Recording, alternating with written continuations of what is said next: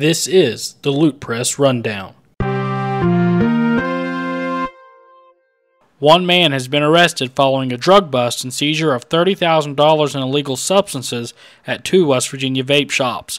According to the Randolph County Sheriff's Office on Tuesday, July 9th at approximately 2:30 p.m., the Randolph County Sheriff's Office, supported by the Mountain Region Drug and Violent Crimes Task Force, executed a search warrant at 95 Valley Point Drive, known as the Tobacco and Vapor Outlet, in connection with an earlier attempted sexual assault. During the search, officers discovered a large bag of suspected marijuana near the rear entrance. Additional evidence, including scales and other items, suggested the sale of marijuana.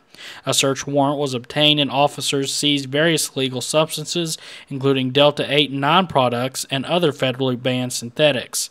A significant amount of U.S. currency was also confiscated. Al Marty Kassam Salman was arrested at the Valley Point location for possession with intent to deliver a controlled substance. The investigation then extended to the vape shop at 1501 Harrison Avenue in Randolph County, owned by the same individual as the Valley Point store. With illegal items visible, officers secured a search warrant and seized more Delta 8 and 9 products and additional cash. The street value of the seized items was approximately $30,000 and the cash totaled over $31,000. Some products tested positive for methamphetamine. Both stores were closed for failing to pay inventory tax. After the owner paid the back taxes on July 10th, the stores were permitted to open that afternoon.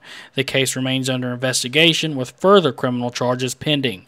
The operation involved officers from the Sheriff's Office, West Virginia State Police, Elkins Police Department, and the West Virginia Department of Agriculture. Solomon is currently at Tygart Valley Regional Jail on a $50,000 cash only bond.